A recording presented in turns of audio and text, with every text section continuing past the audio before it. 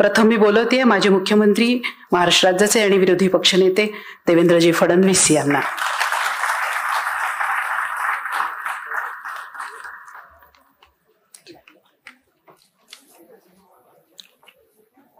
आजच्या या नाशिक शहर बस सेवेच्या उद्घाटन प्रसंगी मंचावर उपस्थित नाशिक जिल्ह्याचे पालकमंत्री राज्याचे अन्न व नागरी पुरवठा मंत्री माननीय छगनजी भुजबळ साहेब.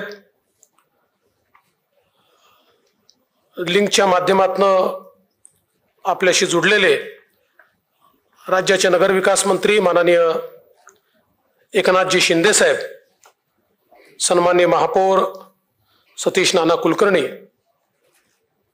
माजी मंत्री गिरीश भाऊ महाजन जयकुमारजी रावल आमदार देवयानीताई फरांदे सीमाताई हिरे राहुलजी ढिकले माजी आमदार बाळासाहेब सानप उपमहापौर बागुलताई आपले स्थायी समितीचे अध्यक्ष गणेशजी गीते कमलेशजी बोडके अजयजी बोरस्ते अरुण पवार विलाजी शिंदे नंदिनी बोडके दिशा दीक्षाताई लोंडे आयुक्त श्री कैलास जाधव सर्व गटनेते सभापती नगरसेवक आणि उपस्थित नागरिक भगिनी आणि बंधूंनो मी नाशिक महानगरपालिकेचं अतिशय मनापासून अभिनंदन करतो की आज नाशिक शहरामध्ये एक अतिशय अत्याधुनिक अशा प्रकारची शहर बस सेवा ही नाशिक महानगरपालिकेच्या वतीनं सुरू झाली आहे. सन्माननीय महापौर स्थायी समिती अध्यक्ष उपमहापौर गटनेते आयुक्त या संपूर्ण टीमचं याकरता मी अतिशय मनापासनं अभिनंदन करतो. खरं म्हणजे आपण शहरं आधुनिक करण्याचा प्रयत्न करतो. आधुनिक शहरांमध्ये जसे चांगले रस्ते हवेत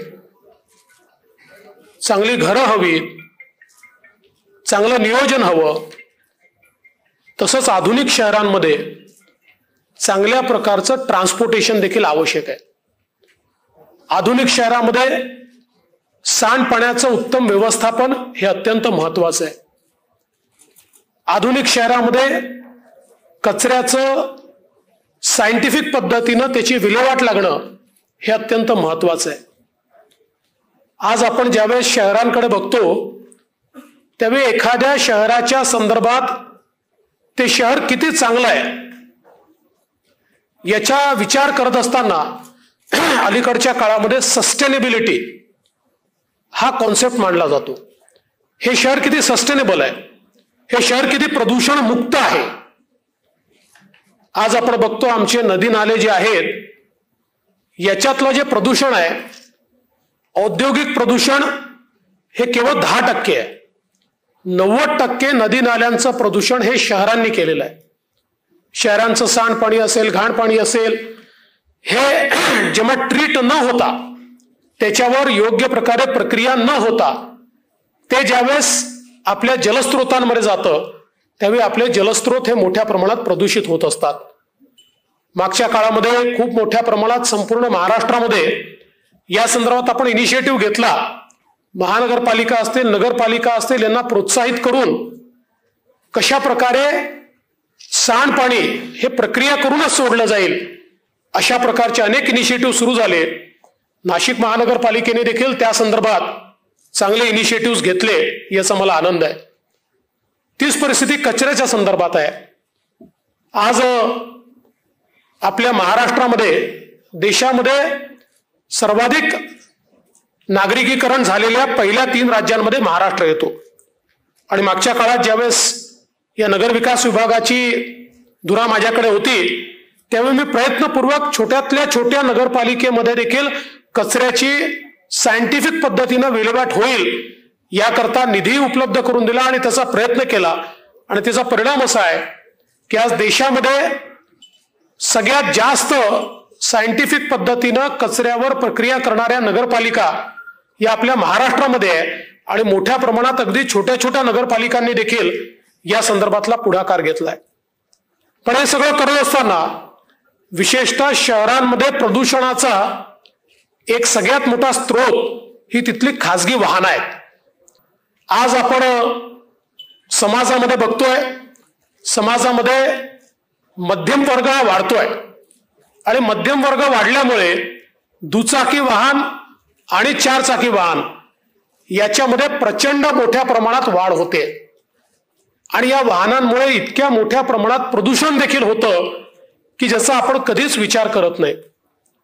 जगाच्या पाठीवर सस्टेनेबिलिटीमध्ये सगळ्यात महत्त्वाचा कॉन्सेप्ट जर सस्टेनेबल शहराकरता काही असेल तर त्या शहरामध्ये एक अत्याधुनिक अशा प्रकारचं पब्लिक ट्रान्सपोर्ट असणं हे अत्यंत महत्वाचं मानलं गेलं आहे कारण पब्लिक ट्रान्सपोर्टमुळे आपण खाजगी वाहनं कमी करतो आणि खाजगी वाहनं कमी झाली तर प्रदूषण आपण कमी करत असतो. पूर्वीच्या काळामध्ये पब्लिक ट्रान्सपोर्टचा विचार करताना आपण खर्चाचा विचार करायचो. अरे पब्लिक ट्रान्सपोर्ट तर परवडत नाही. महानगरपालिकांना ते परवडेल का? अशा प्रकारचा एक विचार मांडला जायचा. पण गेल्या पंधरा वीस वर्षामध्ये हा विचार पूर्णपणे बदलला. कारण प्रदूषणामुळे आपला जो काही खर्च आहे हा आपण कधी अकाउंट फॉर केला नव्हता. आपण विचार केला नव्हता की आपण हे जे काही खासगी वाहन आहेत आणि पब्लिक ट्रान्सपोर्ट न चालवल्यामुळे जो काही आपलं नुकसान होत आहे पर्यावरणाच्या माध्यमातून त्याला जेव्हा आपण पैशामध्ये क्वांटिफाय करतो त्यावेळी असं लक्षात येतं की प्रचंड मोठं नुकसान हे आर्थिक देखील आपल्या नकळत या ठिकाणी होत आहे. आणि म्हणून मग जगाच्या पाठीवर सगळ्यांनी नागरी विकासात हे स्वीकारलं की एक सस्टेनेबल अशा प्रकारची पब्लिक ट्रान्सपोर्टेशन सिस्टीम ही असलीच पाहिजे. आणि त्या दृष्टीनं आज वेगवेगळ्या शहरांमधली ही पब्लिक ट्रान्सपोर्टेशन सिस्टीम ही सस्टेनेबली तयार करण्याचा प्रयत्न सुरू झाला. पब्लिक ट्रान्सपोर्टेशन सिस्टीममध्ये सगळ्यात महत्वाचं काही असेल तर ती डिपेंडेबिलिटी आणि प्रेडिक्टेबिलिटी पब्लिक ट्रान्सपोर्ट व्यक्ती केव्हा वापरतो? ज्यावेळी पब्लिक ट्रान्सपोर्टवर तो डिपेंडेबल राहू शकतो आणि ती प्रेडिक्टेबल असते. आणि मला अतिशय आनंद आहे की आज जी ट्रान्सपोर्टेशन सिस्टीम आपण सुरू केली आहे ही डिपेंडेबलही आहे आणि ही प्रेडिक्टेबलही आहे.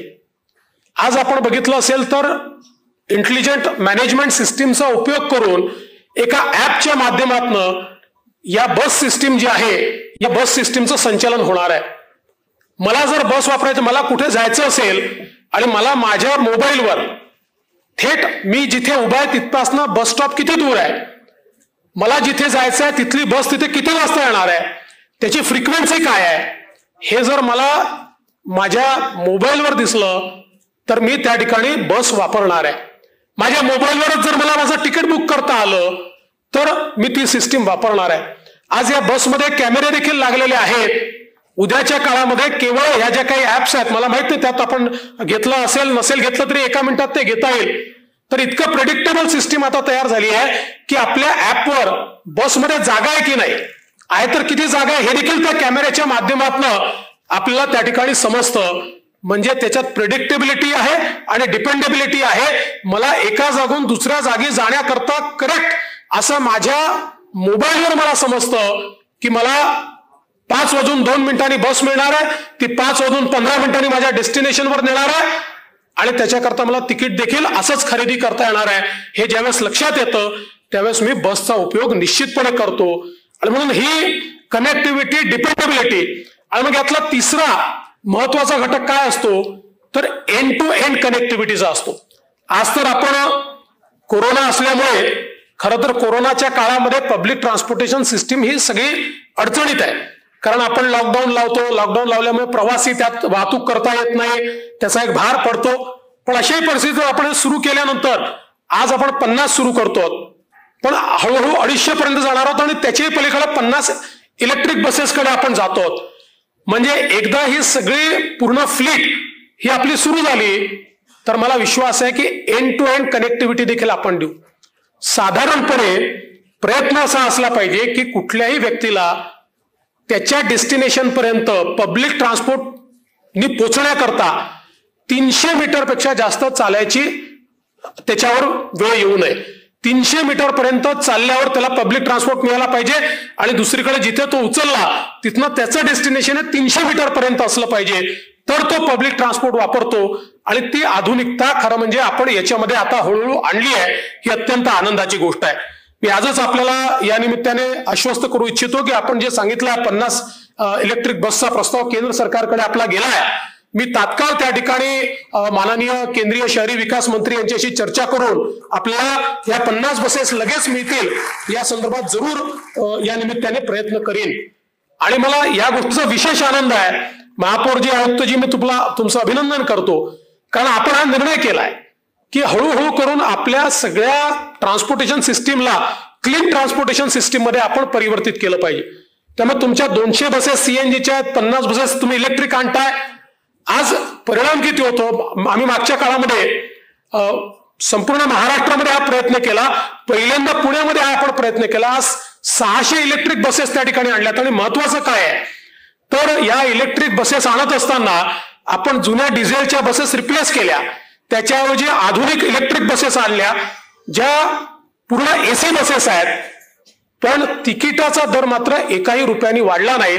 लोकांना जुन्या डिझेलच्या बसमध्ये नॉन एसी बसमध्ये जे तिकीट होतं त्याच तिकिटामध्ये आज एसी बस आणि प्रदूषण मुक्त इलेक्ट्रिक बस त्या ठिकाणी मिळते आहे आणि जवळजवळ पंधराशे बसेस पर्यंत आता फ्लीट पुण्याला वाढते. उद्या मी पुण्याचं देखील उद्घाटन करण्याकरता त्या ठिकाणी जातोय आणि त्यांनी तर नवीनच आणलं की पाच रुपयात किंवा दहा रुपयामध्ये दिवसभराचं तिकीट अशा प्रकारचा कॉन्सेप्ट देखील त्यांनी हा त्या ठिकाणी आणलाय हे इंटिग्रेशन आपल्याला करावं लागेल.